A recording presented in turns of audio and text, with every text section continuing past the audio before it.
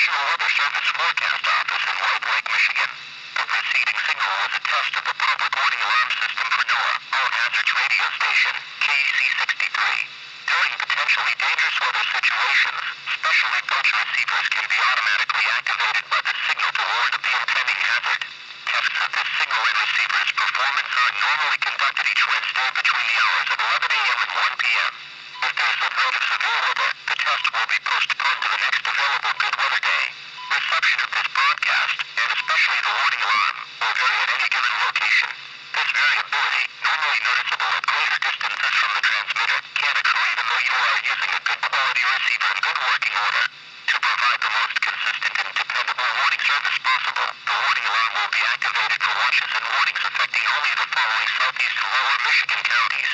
Livingston, Oakland, Macomb, Washtenaw, Wayne, Lenawee, Monroe, and St. Clair.